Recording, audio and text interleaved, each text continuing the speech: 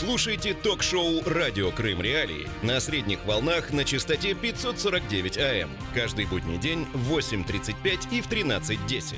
А также на 105,9 FM эм круглосуточно. Крымчане имеют право знать. Как в Симферополе нарушают технологии ремонта дорог? Долго ли прослужат отремонтированное в таких условиях дорожное покрытие и с чем связана спешка с дорожным ремонтом, все это мы обсудим в ближайшие 25 минут. В студии для вас все еще Сергей Громенко. Здравствуйте. Прямой эфир Продолжаем эфир самого крымского в мире радио Крым Реалий. Слушайте нас на средних волнах на частоте 549 килогерц, 8.35 и 13.10 по крымскому времени или на час раньше по Киеву, ну а на 105.9 FM эм круглосуточно.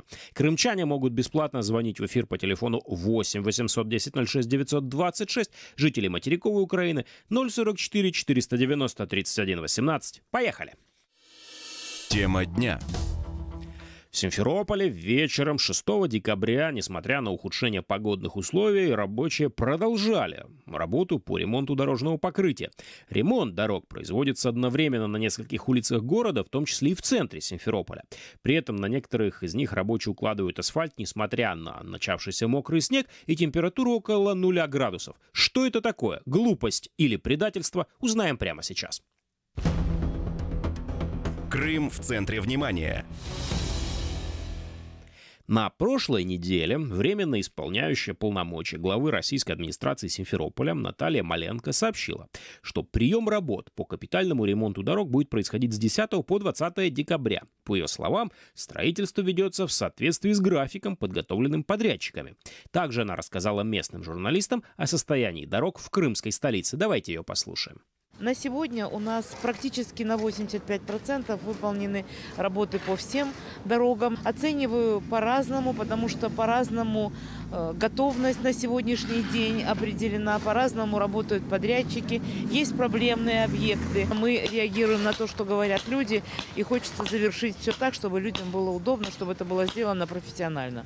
На эту минуту у вас нет риска отставания, то есть вы идете нет, по графику, нет, все нормально? Нет. Если да? не будет каких-то шквальных дождей, что остановит, я могу во влажную погоду уложить там да, порядка там без проблем. Это была временно исполняющая полномочия главы администрации Симферополя Наталья Маленко, а с нами на связи Степан Кискин, депутат Симферопольского городского совета Крыма. Степан, здравствуйте. Здравствуйте. Традиционно считается, что дороги на Руси это одна из фундаментальнейших проблем, можно даже сказать, экзистенциальных проблем э, всего этого восточноевропейского пространства. И вот теперь местные жители жалуются, и журналисты показывают, что вот в Крыму 0 градусов, кое-где мокрый снег, а рабочие все равно укладывают асфальт. Вот по вашему мнению, сначала по вашей оценке за последние, там, скажем, ну, грубо говоря, 5 лет, ситуация с ремонтом дорог, с дорогами в целом в Симферополе, она улучшилась, она ухудшилась, она осталась без изменений? Ну вот смотрите, последний год, э, я смотрю, взялись за дороги по-серьезному у нас в Симферополе. Почему? Потому что э, почти полгорода э, везде асфальтируются дороги, меняется старое покрытие, устанавливаются новые, расширяются дороги. То есть э, взялись по-серьезному, конечно. Другое дело, что при Лукашове, ну, нельзя было делать все сразу. Надо было как-то частично, частями делать. А, как говорится, хапнули весь город, и теперь весь город э, стоит в пробках. Вот, вот это, конечно, делать не надо было. А можете ли вы предположить, почему так происходит? Почему вместо того, чтобы делать постепенно, делают все вместе, и почему вместо того, чтобы растянуть на год ремонт, дел, ну, там продолжают, продолжают в декабре под снегом? Ну, у нас, знаете, как привыкли, любая власть у нас как временчаки. Они э, все хотят проводить сразу. Почему? Потому что не надеются на долгую перспективу. Приходят на год-два, вот, э, и уходят. Э, вот, э, а и поэтому стараются все, все сразу сделать, все сразу хапнуть, все сразу заработать. Так не бывает.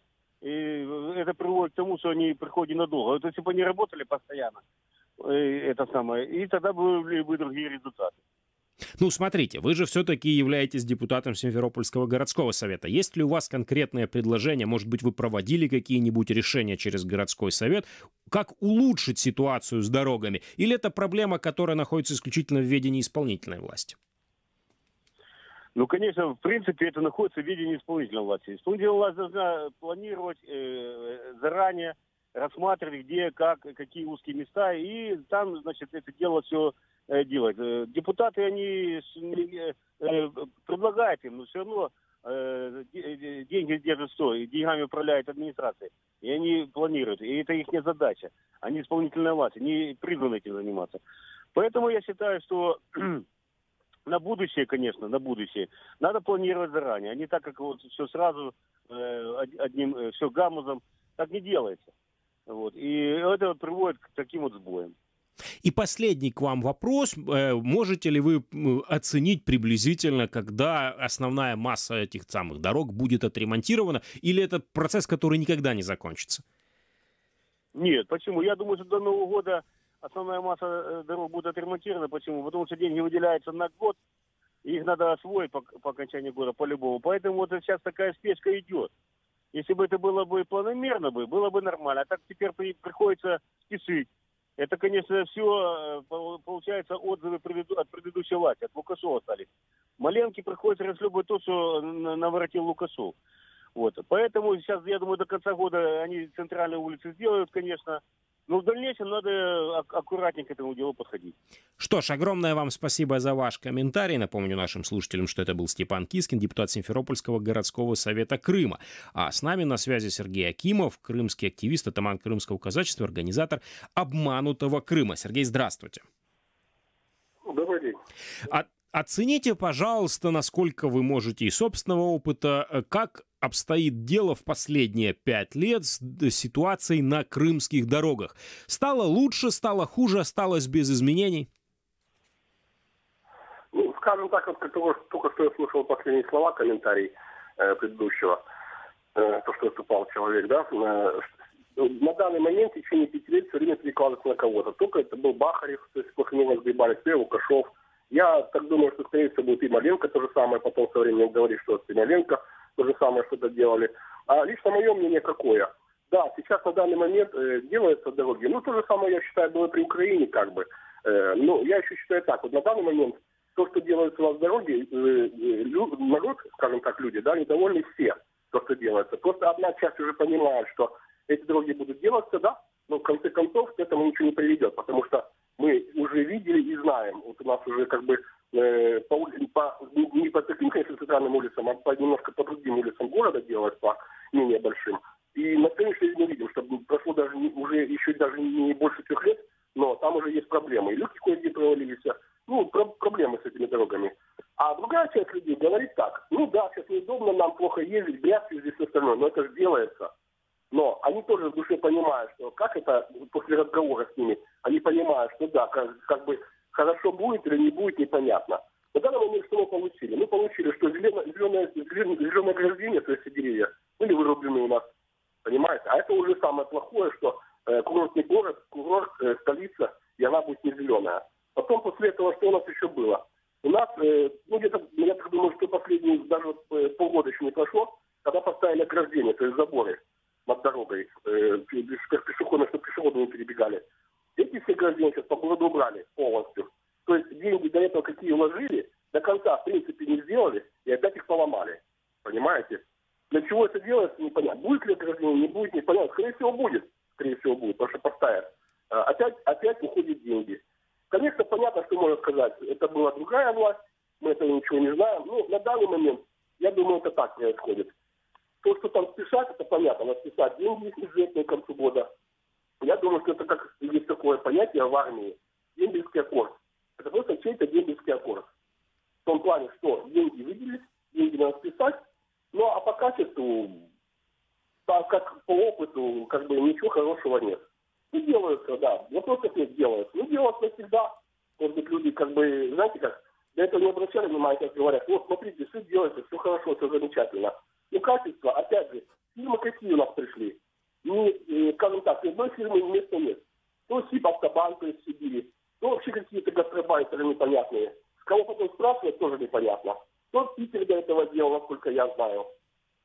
Ну, ну, ну как, смотрите, как, как с кого спрашивать? Тут же у нас все-таки есть э, исполнительная власть в городе Симферополе. Пусть она там представлена э, временно исполняющим обязанности. У нас есть Симферопольский горсовет, который точно так же имеет там э, свою компетенцию, имеет комитет, который должен отвечать за благоустройство города. Почему местные жители не спрашивают? Или местные жители спрашивают симферопольских органов власти за, за, за качество дорог, а мы просто об этом не знаем? Местные жители ничего не спрашивают. У нас есть общественные советы, те же, те же самые, которые подконтрольны, понимаете, этим властям. Но, мы, я только что говорил, что был Бахарев, ну да, наворотил. Был Лукашов, ну да, наворотил. Теперь Маленко исполняет обязанности. Я думаю, что такое же точно произойдет и потом. Ну да, наворотили. И помимо этого еще, сколько у нас сейчас получается там уже расследование уголовных дел и все остальное по этим э, самым дорогам, понимаете? Вот, я вот за что я имею в виду. То есть э, оно как бы есть на, на факт, де, де, де юра, а де факто этого нет. Спросить нет кого. Все, был человек, нет человека. Вот чему говорю. И последний к вам вопрос. Э, мы знаем, что в последние несколько лет в Крыму довольно значительно выросло число автомобилей, которые завозятся с территории ну, с территории российских регионов, где цены на них были, ну, вернее, теперь стали ниже, чем были, скажем, на территории Украины. Все-таки российский автопром есть побольше, и поэтому Симферополь часто становился в пробках. Вот насколько сейчас, вот последние там, может быть, полгода, ситуация с пробками улучшилась, ухудшилась, изменилась, и поможет ли ремонт дорог разрешить проблему с пробками? Или пробки это уже навсегда? Дело в том, что то, что заводили, заводились машины раньше, да, они были в тот момент, может быть, дешевле, потому что курс доллара был, и немножко, э, когда переход был, там немножко другие деньги заходили с России, цены были пониже. На данный момент, как мы были при Украине, так же цены практически выровнялись на машину. Ну, на «Жигули» понятно, что там цены, конечно, маленькие, а на все остальные классы поболее, то есть там иномарочки, там уже, конечно, такие практически цены. Ну, а по поводу пробок, они будут, естественно, однозначно, потому что не забывайте, в России 147 миллионов людей, человек живет. Понимаете? Даже если один процент приедет, один процент, а он уже, я так думаю, что уже, наверное, есть в Крыму, не в Симферополе именно, а в Крыму, в Симферополе в том числе. И, естественно, а по поводу то, что дороги, ну, кое-где, может быть, разгрузится, но нет, это уже будет постоянно пробки. Не только в Симферополе, но вы приедете летом в Алушку, или в Ялту, или в других курортных городах. И посмотрите, это уже не курорт. Это просто какая-то автостоянка.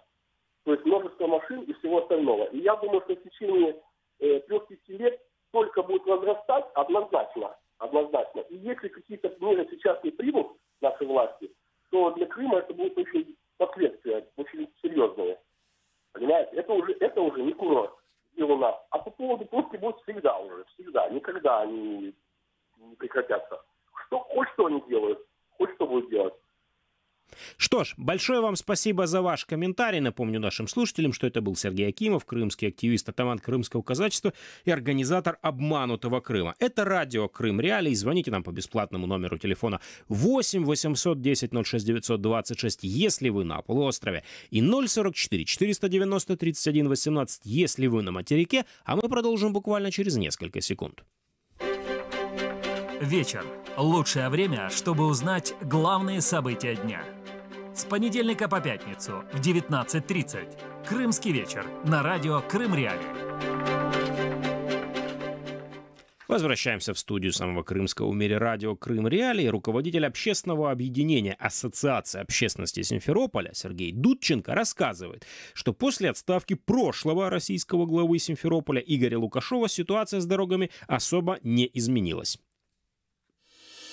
Точка зрения качество дорожных работ даже стало хуже, потому что Лукашов и Нахлупин, арестованные, так сказать, они больше контролировали ситуацию с подрядчиками, и был жестче контроль. Сейчас ведутся работы с нарушением технологий, с нарушением погодных условий. Используются стройматериалы низкого качества, даже порой заменяются землей, глиной, непонятно каким-то строительным мусором. На это все укладывается асфальт, осваиваются бешеные суммы, никто не реагирует на жалобы людей. Там рапортуют о готовности 80-90%. Уже на улице морозы, сроки переносятся. Какая укладка асфальта может быть в морозы. Россия стала страной аэропортов и отчетов. Тут надо, главное, отчитаться, красиво заявить о качестве. То, что люди будут расхлебывать, то, что уже на новых дорогах, которые были сделаны с нарушениями, уже скапливается вода, уже лужи, но невозможно проехать, обойти этот участок, потому что ливневку забыли уложить, там забыли уложить щебенку, уже все просело. Вот такие нарушения повсеместно. А это миллионы денег, миллионы федеральных денег, и куда они идут, и контроль, и никто не наказан, что всегда обидно для горожан. Точка зрения. Это был руководитель общественного объединения Ассоциации общественности Симферополя Сергей Дудченко. А вот подрядчик Евгений Прокопенко рассказал Первому Крымскому каналу, что некоторые улицы города уже заканчивают ремонтировать. Завершаем э, объект, поэтому остается у нас 230 метров покрытия. Весь бордюрный камень уже выставлен. В принципе, в срок мы укладываемся. А еще один подрядчик, Артем Накцаканян, говорит, что местами пришлось заменить множество коммуникаций. Здесь очень много коммуникаций, переносов сетей. Мы здесь сделали перенос газоснабжения, электроснабжения, слаботочных сетей, канализация, ливневка. Также журналисты Первого Крымского канала опросили и водителей, что они думают относительно ремонта дорог. По поводу ремонта дороги, как относитесь с пониманием? Запарило уже два месяца. Опаздываю, неудобно. Ну, надеюсь, будет лучше. Но главное терпение напастись. Ну и что думают по поводу ремонта пешехода? Терпим, потерпим, дай бог сделает. Очень сложно, как пешеходу. Должен город процветать, становиться лучше. Это радио Крым Реалии. Если вы что-то упустили, заходите на наш сайт, читайте наши материалы, смотрите прямые трансляции эфиров, пишите нам в Facebook, Twitter, предлагайте свои темы программ, а мы вернемся в эфир буквально через несколько секунд.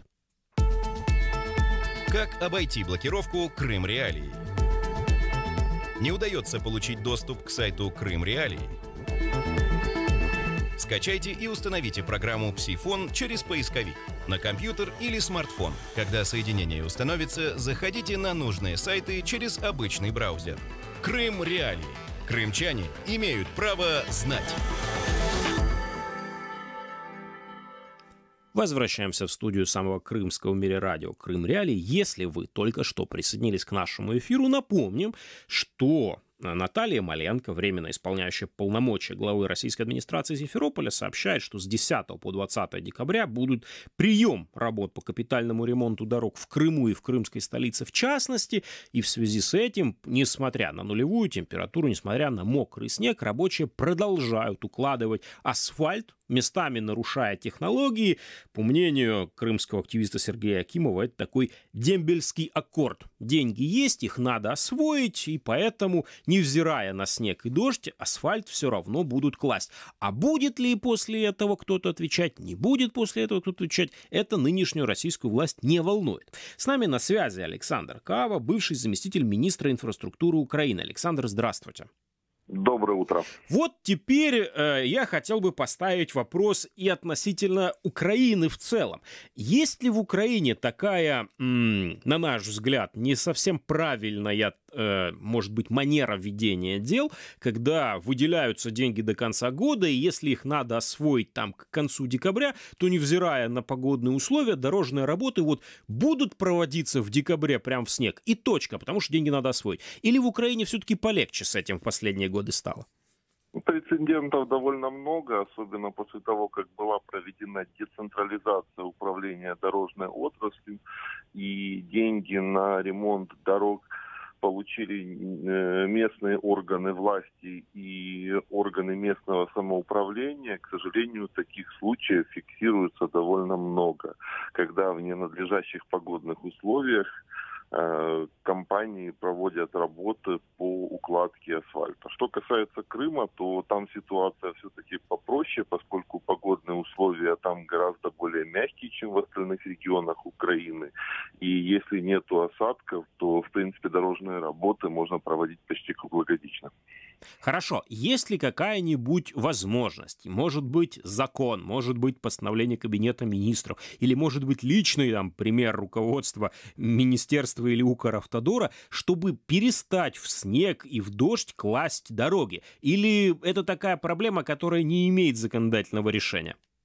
Ну, это регулируется все государственными стандартами и э, государственными строительными нормами. Там четко зафиксировано, в каких условиях можно проводить дорожные работы, в каких условиях это недопустимо. Тогда почему же, вот вы как говорите, все чаще и чаще наблюдается, что местная власть продолжает класть асфальт на дороге, даже если там снег, который наверняка в эти стандарты не вписывается? Ну, чиновники просто идут умышленно на нарушение норм, стандартов, которые есть в стране. Хорошо, а зачем им это нужно? Вот что нужно понять нашим слушателям. Зачем чиновникам нужно класть, ну, вернее, не чиновникам, зачем рабочим нужно, чтобы, зачем чиновникам нужно, чтобы рабочие клали асфальт в декабре под снегом? Это связано с какими-то конкретными деньгами? Ну, как правило, асфальт кладут же не чиновники, а асфальт кладут подрядные компании, поскольку у нас в стране э, государственных компаний, которые занимаются ремонтом дорог, нет. Это все частные подрядчики делают. Соответственно, органы власти заключают договор на выполнение тех или иных работ. То есть это простая закупка услуги по ремонту дороги. А подрядчик, если он не укладывается в сроки, вот, идет на нарушение. Потому обвинять органы власти здесь абсолютно некорректно. То есть тут э, проблема органов власти только в том, что они не надлежащим э, способом контролируют подрядчиков, если такие случаи зафиксированы. Но повторюсь, что подрядчики исключительно частные. Ага. А есть какой-нибудь в Украине действенный механизм по контролю качества того, как эти дороги делаются? То есть не так, чтобы просто на глазок приняли, есть асфальт, нет асфальта, разошлись, а потом снег сходит, и, и вместе с снегом сходит асфальт, или потом едут грузовики, и колея остается. Или на самом деле каждый орган местной власти по собственному, по собственной инициативе там принимает решение, хорошая дорога, плохая дорога. Действует контроль со стороны заказчика работ, кто эти работы заказывает. Более того, есть разные виды ремонтов. Если мы говорим, там, например, о капитальных ремонтах, о средних ремонтах, то такие случаи фиксируются редко. Что касается ямочного ремонта, то это ремонт, который призван обеспечить проезд по той или иной дороге, которая давно нуждается в капитальном ремонте, но из-за недостатка средств Э, она не может быть капитально отремонтирована. Потому ямочный ремонт проводится на таких дорогах. Но, как правило, ямочный ремонт – это очень легкий ремонт, который просто обеспечивает проезд и ликвидирует э, аварийную ямочность. Смотрите, тут у нас крымские активисты высказывают определенную, ну, скепсис, назовем это так, относительно того, как можно контролировать качество дорог. Если оно не надлежащее, то никого, по их словам, там нельзя привлечь к ответственности, потому что сегодня один мэр, градоначальник, начальник там какого-нибудь управления, завтра его сменили и спрашивать не с кого. Вот в Украине в целом есть, во-первых, ли механизм привлечения к ответственности недобросовестных подрядчиков? И если да, то как он работает? А если нет, то почему его нет? Э, подрядчика можно привлечь, если будет зафиксирован случай нарушения действующих стандартов. И, в принципе, такие случаи фиксируются как в Украине, так и на территории Крыма. То есть, что если подрядчик некачественно выполняет э, работы, то с ним расторгается договор, и он больше не допускается к государственным закупкам по э, ремонтным работам на автомобильных дорогах.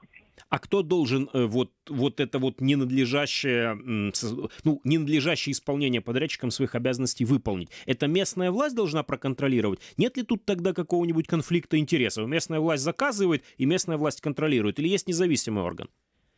Нет, что касается конфликта нет. Если вы дома делаете ремонт, то вы являетесь заказчиком и вы же контролируете, как у вас дома делают ремонт. Это нормально и так действует во всех европейских странах. Никакого конфликта интересов в данном случае нет. Я думаю, что вы не хотите заказывать ремонт у себя в квартире, и чтобы какой-то сосед приходил и говорил, хорошо ли у вас ремонт сделан или нет, а ваше мнение никто слушать не будет. Но это вполне резонное замечание. Идем дальше. Э, многие из тех, с кем мы говорили относительно дорог, утверждают, что класть э, завод, ну, класть э, асфальт в декабре заставляет такая особенность, что к концу года надо освоить деньги, которые уже выделены, а если их не освоить, то там будут потом трудности. В Украине, это, это что касается Крыма, в Украине тоже надо вот к декабрю сдать, потому что заканчивается финансовый год, или это, или это не обязательно? Ни в Украине, ни на территории Крыма такой проблемы нет, поскольку те средства, которые выделяются на дороги, это деньги специального фонда бюджета, и к концу года они никуда не исчезают, их спокойно можно осваивать в весну уже после того, как сезон это позволяет. Просто обращаю внимание, что в Крыму очень теплые погодные условия, и зачастую там ремонтный сезон может продолжаться круглый год. А особенно на южном побережье Крыма, где осадки бывают очень редко. Хорошо, и последний к вам вопрос. По вашему мнению, по вашим прогнозам, может ли в Украине настать такой день, если да, то когда, когда основные дороги будут отремонтированы, пусть там не капитально, но может быть средне, или этот процесс никогда не, не, не закончится и такого дня не настанет, и ремонт будет продолжаться постоянно? Все будет зависеть от объема финансирования ремонтных работ. В Украине сейчас 95% дорог эксплуатируются сверх установленных нормативов. То есть это те дороги, которые должны были бы капитально быть отремонтированы еще десятилетия назад, но из-за того, что государство не выделяло должных средств на ремонт, эксплуатация этих дорог продолжается. В последние годы объем ремонтов увеличился существенно, вот, но этого еще недостаточно, чтобы все дороги можно было отремонтировать и привести в надлежащее состояние. Что ж, огромное вам спасибо за ваши комментарии. Напомню нашим слушателям, что это был Александр Кава, бывший заместитель министра инфраструктуры Украины. Это радио «Крым Реалии». У микрофона для вас все это время работал Сергей Громенко. Ни в коем случае не переключайтесь. После короткой паузы самое крымское в мире радио вновь вернется в эфир.